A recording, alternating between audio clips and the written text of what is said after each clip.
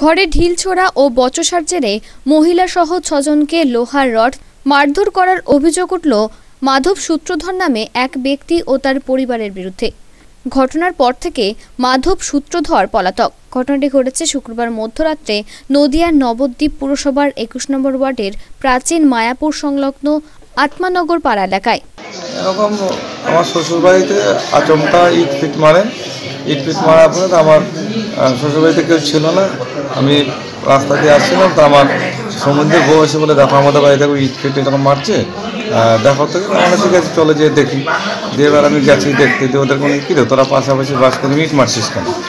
কথা বলতে বলতে পেছন থেকে আচমকা এই মানে কাটারি মতাটা জিনিসটা আমার ঘাড়ে কোপ মারে তারপরে কপালে কোপ মারে তারপরে আমি এদিক ওদিক মারধর করে আর কি।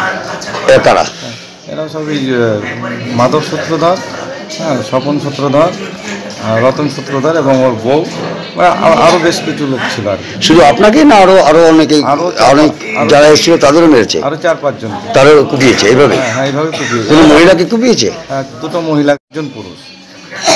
এটা কি কোনো সেটা নিয়েই আহ, ওরা বলা সারা আমার মুখ দিয়ে কথাটা শেষ হয়নি। তারপর আচমকা পেছনকে কোপ মারায়। কিছু কোনো উদ্দেশ্য বা এরকম বোঝা গেল? উদ্দেশ্য বলতে ওটা পরিকল্পনা করাই ছিল আর কি।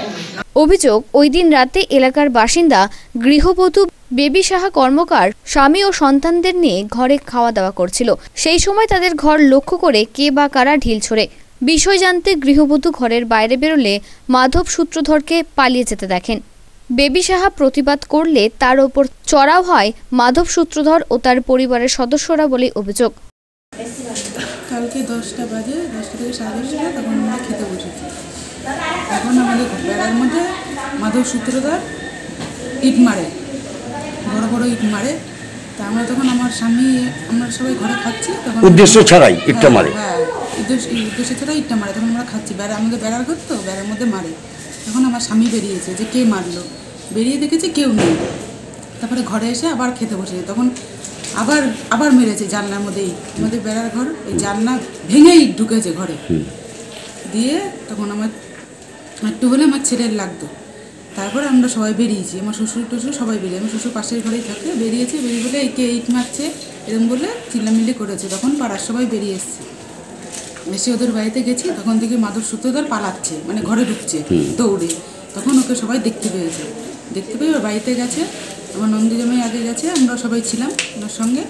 তখন বলছে তুই ইট মারে তখন ওরা ঘরে দরজা দিয়ে সবাই রয়েছে, কেউ বেরোচ্ছে না। ডাকছে, কেউ বেরোচ্ছে না যে, ইট মেরেছিস কেন? তখন কেউ বেরোচ্ছে না।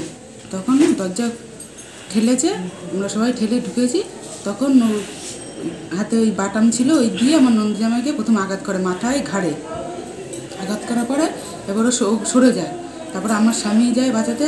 আমার স্বামীকে ওরকম কুবাতে থাকে সময় আমি ছিলাম, আমাকেও কুবিয়েছে। মাধব সূত্রধর তারপর আরও দুই ভাই ছিল ঘরে, ওর বউরা সব শাবল দাউমাও নিয়ে সবাই এসছে। এসে আমার ননদকেও মেরেছে, শাবল দিয়ে সম্পার সূত্রধর মেরে ওর মাথা থেতলে দিয়েছে। আর স্বপন সূত্রধর, রতন সূত্রধর, ওরাও সবাই। সবাই মিলে আমাদের সবাইকে আহত করেছে আরও পাড়ার লোক সবাইকে মেরেছে। অভিযোগের ভিত্তিতে পুলিশ তদন্ত শুরু করেছে। নদিয়া থেকে মাধব দেবনাথের রিপোর্ট আনন্দ বার্তা